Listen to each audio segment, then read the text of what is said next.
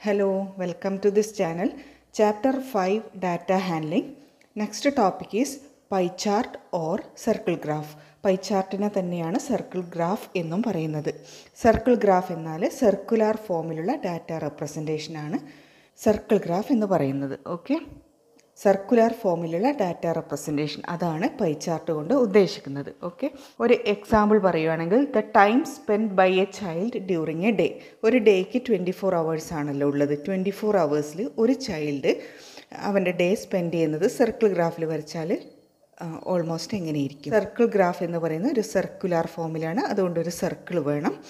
ഒരു ഒരു child eight hours sleeping time eight hours sleeping time അതുപോലെ എയ്റ്റ് അവേഴ്സ് സ്കൂൾ ഓക്കെ സ്കൂളിലാണ് ഉണ്ടാവുക.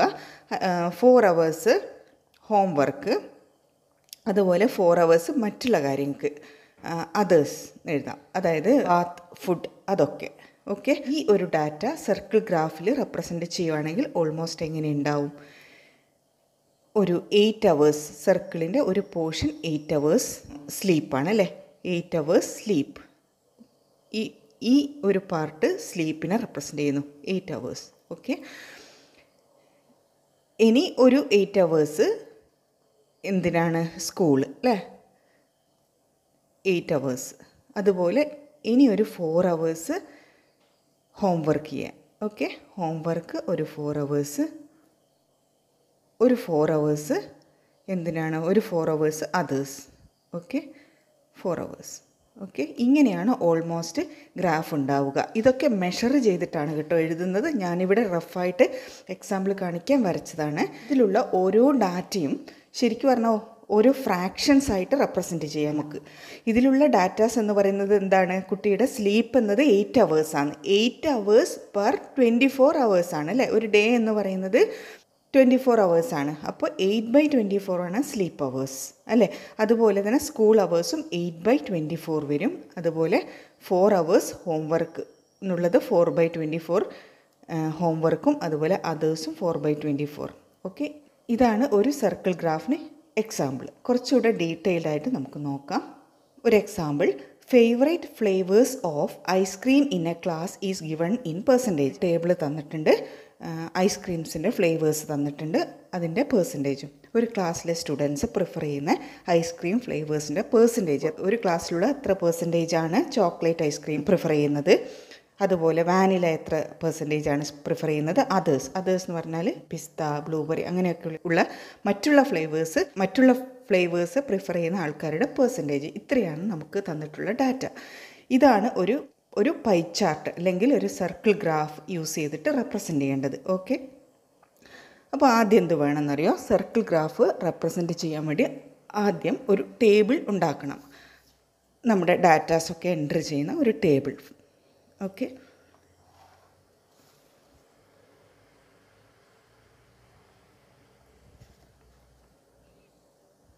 ടേബിളിന്റെ ഫസ്റ്റ് കോളം ഫ്ലേവേഴ്സ് നമുക്ക് തന്നിട്ടുണ്ട് ഇവിടെ ഡാറ്റ ഓക്കെ അതുകൊണ്ട് ഫ്ലേവേഴ്സ് ഏതൊക്കെ ഫ്ലേവറാണ് ഉള്ളത്?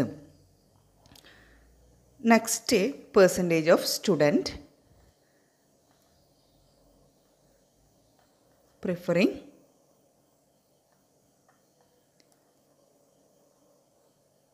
the flavour okay ഇനി ഓക്കെ അത് അപ്പോൾ എത്രയാണ്? ചോക്ലേറ്റ്. ചോക്ലേറ്റ് വാനില അതേഴ്സ് ഈ മൂന്ന് ഫ്ലേവേഴ്സാണ് ഉള്ളത് അല്ലേ? Chocolate fifty percentage vanilla twenty five percentage അതുപോലെ അതേഴ്സ് എന്ന ഫ്ലേവറും ട്വന്റി ഫൈവ് പെർസെന്റേജ് ഓക്കെ? ഇനി നെക്സ്റ്റ് ഒരു കോളം ഉള്ളത് എന്താണെന്ന് വെച്ചാൽ in fractions in fractions percentage of student preferring the flavour എന്നുള്ള ഈ ഒരു കോളം ഇതാണ് ഫ്രീക്വൻസി അല്ലേ? ഈ ഫ്രീക്വൻസി ഫ്രാക്ഷൻ ഫോമിലാക്കിയാൽ എന്താണ്? അതാണ് ഫ്രാക്ഷൻസിൽ വരിക. അതായത് ഒരു ക്ലാസ്സിലെ ടോട്ടൽ ടോട്ടൽ ആൾക്കാരിൽ നിന്ന് ഫിഫ്റ്റി പെർസെന്റേജ് ആണ് ചോക്ലേറ്റ് പ്രിഫർ ചെയ്യുന്നത് അല്ലേ? അപ്പോൾ ഫിഫ്റ്റി പെർസെന്റേജ് എന്നുള്ളത് എന്താണ്? ഫിഫ്റ്റി ഡിവൈഡഡ് ബൈ ഹൺഡ്രഡ് ആണ് അല്ലേ? ശരിക്കും ഫിഫ്റ്റി പെർസെന്റേജ് എന്നുള്ളത് ഫിഫ്റ്റി ബൈ ഹൺഡ്രഡ് ആണ്. Means what five by ten five by ten അല്ലേ? ഈ സീറോ കട്ട് ചെയ്ത് പോയി. ഫൈവ് ബൈ ടെൻ എന്ന് പറഞ്ഞാൽ രണ്ടിനെയും ഫൈവ് കൊണ്ട് ഡിവൈഡ് ചെയ്യുക. അതുകൊണ്ട് one by two okay fifty percentage എന്ന് പറഞ്ഞാൽ ഫ്രാക്ഷനിൽ എന്താണ് value one by two okay അപ്പോൾ ഫ്രാക്ഷന്റെ വാല്യൂ എന്താണ്? വൺ ബൈ ടു അതുപോലെ വാനില ട്വന്റി ഫൈവ് പെർസെന്റേജ് ആണ്. ട്വന്റി ഫൈവ് പെർസെന്റേജ് എന്ന് പറഞ്ഞാൽ twenty five divide by hundred that is equal to twenty five കൊണ്ട് രണ്ടിനെയും ഡിവൈഡ് ചെയ്യാം. അപ്പോൾ വൺ ബൈ ഫോർ വാല്യൂ കിട്ടും. വൺ ബൈ ഫോർ അതുപോലെ അതേഴ്സ് എന്നതിന്റെയും ഫ്രാക്ഷൻ വൺ ബൈ ഫോർ ആണ്. ഓക്കെ ഇനി നെക്സ്റ്റ് ഒരു കോളം ഉള്ളത്. ഒരു സർക്കിളിന് എത്ര ടോട്ടൽ ഡിഗ്രിയാണ് ഉണ്ടാവുക? ഒരു സർക്കിൾ കംപ്ലീറ്റ് ആവണമെങ്കിൽ ത്രീ സിക്സ്റ്റി ഡിഗ്രിയാണ് ഇത് ഈ ഡാറ്റാസിന് വേണ്ടി എങ്ങനെയാണ് പാർട്ട് ചെയ്യേണ്ടത്? ത്രീ സിക്സ്റ്റി ഡിഗ്രിയിൽ എത്ര ഭാഗമാണ് ഓരോന്നിനും സ്പേസ് വേണ്ടത് എന്നുള്ളതാണ് നെക്സ്റ്റ് കോളത്തിൽ വരുന്നത്. അത് fraction of three sixty degree അല്ലെങ്കിൽ ചിലയാൾ അത് ഡിഗ്രി എന്ന് എഴുതും. ചിലർ fraction of three sixty degree okay three sixty ഡിഗ്രിയിൽ ഓരോന്നും നമ്മുടെ ഓരോ എൻട്രിയും ത്രീ സിക്സ്റ്റി ഡിഗ്രിയിൽ എത്ര വരും? അതാണ് കണ്ടുപിടിക്കേണ്ടത്. വൺ ബൈ ടു എന്ന് പറയുന്നത് ഒരു സർക്കിളിന്റെ ടോട്ടലായ ത്രീ സിക്സ്റ്റി ഡിഗ്രിയിൽ എത്ര പാർട്ടാണ് one by two into three sixty കണ്ടുപിടിച്ചാൽ മതി അല്ലേ? അതായത് three sixty divide by two എത്ര കിട്ടും?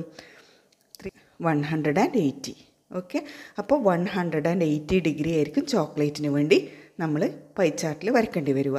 അതുപോലെ വാനില ബൈ ഫോർ ആണ് അതിന്റെ fraction one by four into three sixty ninety okay ninety ninety degree ആയിരിക്കും. അപ്പോൾ വാനിലക്ക് വൺ ബൈ ഫോർ എന്ന് പറയുന്നത് നയന്റി ഡിഗ്രി ഓക്കെ ഈ ഫ്രാക്ഷൻ ഇന്റു ത്രീ സിക്സ്റ്റി കണ്ടുപിടിച്ചാൽ അതിന്റെ വാല്യൂ ആണ് ഇവിടെ ഡിഗ്രി ആയിട്ട് വരുന്നത്. One by four into one by four എന്ന് പറയുന്നത് എഗെയിൻ നയന്റി ഡിഗ്രി ഓക്കെ അപ്പോൾ ഓരോ എൻട്രിക്കും എത്രയെത്ര ഡിഗ്രീസാണ് നമ്മൾ പൈ ചാർട്ടിൽ മാർക്ക് ചെയ്യേണ്ടത് എന്നുള്ള ലാസ്റ്റ് കോളവും കിട്ടിക്കഴിഞ്ഞു. ഓക്കെ ഇതാണ് നാല് കോളംസ് ടേബിളിൽ ഉണ്ടാവേണ്ടത് ഓക്കെ ഇനി നമുക്ക് പൈ ചാർട്ട് വരയ്ക്കാൻ തുടങ്ങാം.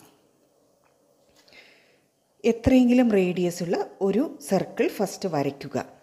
എന്നിട്ട് അതിന്റെ റേഡിയസ് മാർക്ക് ചെയ്യുക. ഓക്കെ അതിന്റെ ഒരു റേഡിയസ് ഏതെങ്കിലും ഒരു സൈഡിലേക്ക് ഒരു റേഡിയസ് ഡ്രോ ചെയ്യുക. ഓക്കെ? റേഡിയസ് ഡ്രോ ചെയ്തു. ഓക്കെ? ഫസ്റ്റ് റെപ്രസെന്റ് ചെയ്യേണ്ട ഡാറ്റ എന്തായിരുന്നു? ചോക്ലേറ്റ് വൺ എയ്റ്റി ഡിഗ്രി അല്ലേ? One eighty degree.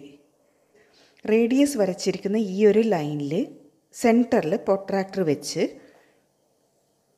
ആ ലൈനിൽ അഡ്ജസ്റ്റ് ചെയ്ത് വെച്ച് എന്നിട്ട് ആ സീറോ മുതൽ സീറോ മുതൽ വൺ എയ്റ്റി ഡിഗ്രി ആണല്ലോ നമുക്ക് വേണ്ടത്. അപ്പോൾ സീറോ മുതൽ വൺ എയ്റ്റി ഡിഗ്രി വരെ വൺ എയ്റ്റി ഡിഗ്രി വരെ ഒരു മാർക്ക് മാർക്ക് കൊടുക്കുക. വൺ എയ്റ്റി ഡിഗ്രി എത്തിക്കഴിഞ്ഞാൽ ഒരു മാർക്ക് ഓക്കെ നമുക്കറിയാം വൺ എയ്റ്റി ഡിഗ്രി എന്ന് പറയുന്നത് സ്ട്രെയിറ്റ് ലൈനാണ് അപ്പോൾ ആ മാർക്കിനടുത്തേക്ക് ജോയിൻ ചെയ്യുക.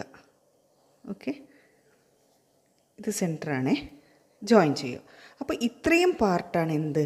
ചോക്ലേറ്റ് എന്ന ഐസ്ക്രീം ഇഷ്ടപ്പെടുന്ന ആൾക്കാരുടെ പേഴ്സന്റേജ് അല്ലേ? ചോക്ലേറ്റ് ഓക്കെ വേണമെങ്കിൽ ഇവിടെ ഫിഫ്റ്റി പെർസെന്റേജ് എന്ന് എഴുതാം. ഇനി next vanilla ice cream one by four അതായത് നയന്റി ഡിഗ്രി അതുപോലെ അതേഴ്സ് എന്നതും നയന്റി ഡിഗ്രി ഓക്കെ ഇനി വാനില ഐസ്ക്രീമിന്റെ പാട്ട് വരയ്ക്കാൻ എന്ത് ചെയ്യണം? ഈ പുതുതായി വരച്ചിരിക്കുന്ന ഒരു പാട്ടുണ്ടല്ലോ റേഡിയസിന്റെ പാട്ട്. അവിടെ ആ ലൈനിനോട് അഡ്ജസ്റ്റ് ചെയ്തിട്ട് പൊട്രാക്ടർ വയ്ക്കുക. ഓക്കെ അപ്പോൾ സെന്റർ സെന്ററിൽ കണക്ട് ചെയ്യുക. എന്നിട്ട് ആ ലൈനുമായിട്ട് അഡ്ജസ്റ്റ് ചെയ്ത് വെക്കുക. എന്നിട്ട് സീറോ മുതൽ എത്രയാണ് നമുക്ക് വേണ്ടത്? നയന്റി ഡിഗ്രി നയന്റി ഡിഗ്രിയിൽ ഒരു മാർക്ക് കൊടുക്കുക. ഓക്കെ എന്നിട്ട് ആ മാർക്കിൽ ഏകദേശം ആ മാർക്ക് വരെ ഡ്രോ ചെയ്യേണ്ട കാര്യമില്ല. കാരണം അതിങ്ങ് പുറത്താണ്. ഈ ഈ സർക്കിളിന്റെ പുറത്താണ്. അപ്പോൾ സർക്കിളിൽ നമുക്ക് ഡ്രോ ചെയ്ത് കിട്ടിയാൽ മതി. ഇതാ ഇങ്ങനെ ഒരു ലൈൻ ഡ്രോ ചെയ്യുക. ഓക്കെ അപ്പോൾ ഈ ഒരു ഇപ്പോൾ കിട്ടിയിരിക്കുന്ന ഈ ഒരു പുതിയ പാർട്ടാണ് എന്ത്? വാനില അല്ലേ? വാനില ഐസ്ക്രീം ഇഷ്ടപ്പെടുന്ന ആൾക്കാരുടെ പേഴ്സന്റേജ് അത് ട്വന്റി ഫൈവ് പെർസെന്റേജ് ആണ്. ഓക്കെ ഇനി ഒരേ ഒരു എൻട്രിയേ ഉള്ളൂ. അതും അതേഴ്സ് എന്ന ഒരു ഡാറ്റ എൻട്രി മാത്രമേ ഉള്ളൂ. അത് ട്വന്റി ഫൈവ് പെർസെന്റേജ് തന്നെ ആയതുകൊണ്ട് നമുക്കിവിടെ എഴുതാം അല്ലേ? ഡയറക്റ്റായിട്ട് വാനില സോറി അതേഴ്സ് എന്ന് എഴുതാം. Others twenty five percentage okay ഇതാണ് പൈ ചാർട്ട് ഓക്കെ